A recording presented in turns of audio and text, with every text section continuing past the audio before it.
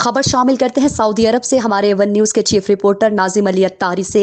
पाकिस्तान तहरीक इंसाफ के finance deputy secretary Sardar Talat Mehmood ने अलामा इकबाल को बर सग़ीर के मुसलमानों के लिए अलहदा वतन के तस्वुर पेश करने पर खराज तहसीन पेश किया, जो क़याम पाकिस्तान के साथ एक हकीकत बन गया। पाकिस्तान तहरीक इंसाफ सऊदी अरब के सेक्रेटरी लेबर गुलजेब कयानी ने अलामा इकबाल को खराज तहसीन पेश किया और सल्तनत में सकाफती सरगर्मियों को फ़रोग देने पर खादिम आला हरमैन शरीफैन king Salman bin Abdul Aziz और वली अहद शहजादा मोहम्मद बिन सुलेमान का शुक्रिया भी अदा किया।